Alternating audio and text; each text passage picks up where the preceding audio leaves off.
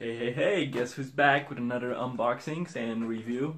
Uh, this time I actually have a Accuteck scale.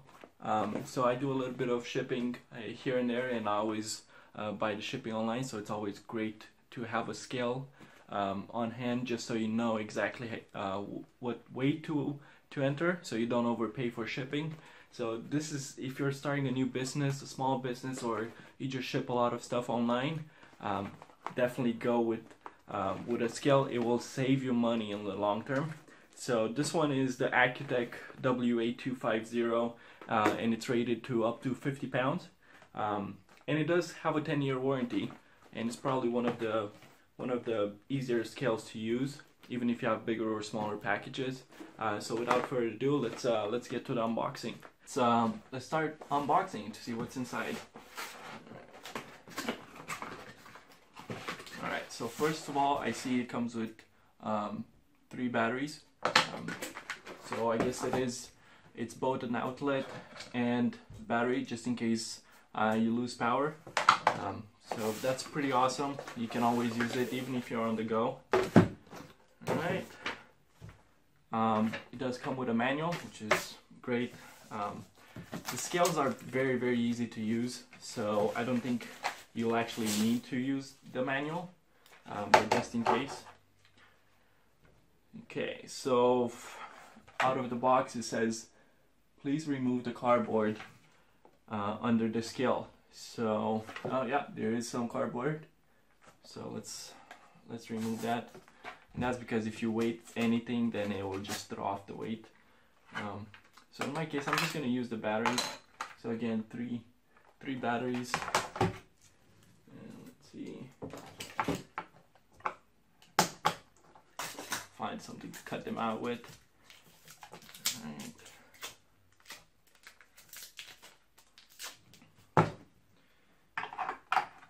Okay. Easy to use. I don't think I need to show you guys how to um, install a battery set. Fairly easy.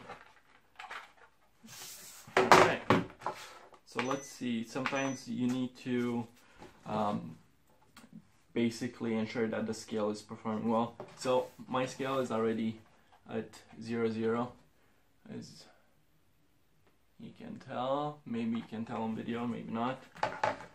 Um, but it's cool, right out of the box you have uh, a power button, you have a pounds and slash kilograms, and then you have a zero zero button so this is basically to zero it out if you want to um, maybe weight something in a container you can weigh the container first uh, put it at zero zero and then add the contents just to see what uh, what the weight of those contents is.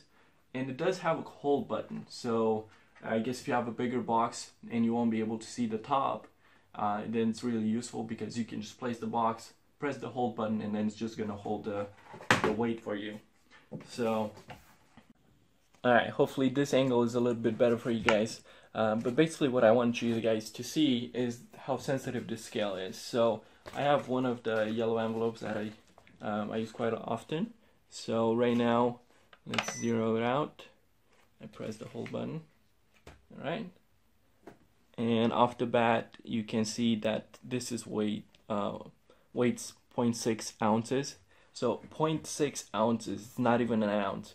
Um, so the other cool thing I noticed about this scale is you can open it. And then this still zero zeros. So if you have bigger items, uh, or if this envelope was full of stuff, you can always place it down and then it would tell you the, the weight again. So it's 0.6 ounces. So it's accurate both ways.